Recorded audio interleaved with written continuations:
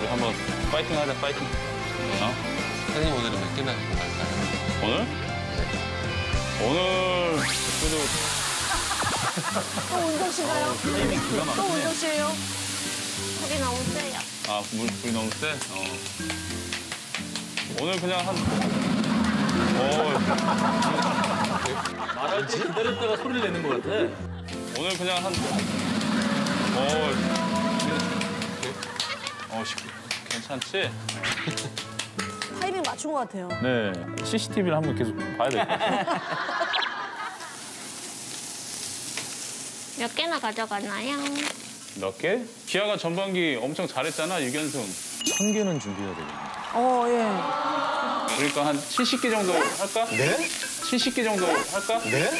아, 너무 작아진 거 아닙니까? 70개라뇨. 관중석이 2만 명이잖아요. 근데 10%인데 2천 명이잖아요. 2천 명이죠. 근데 아니, 아니 100개면 100개고 200개면 200, 70개는 뭡니까? 아 왜냐면 이제 장사를 해보면서 이제 노하우가 조금 생겼는데 예. 버리고 간게 엄청 많았어요. 자기가 쏠나오신 악재 사실 남으면 그 비용이니까. 그렇죠. 700명이 관중이 들어온다고 이제 이야기를 듣고 그럼 70개 정도 마- 맞추자 하는데 70개요?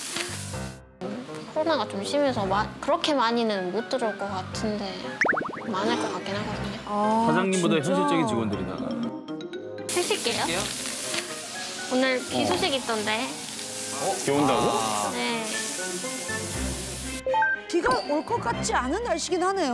지금 밖에 와뭐 해가 저렇게 쨍쨍한데?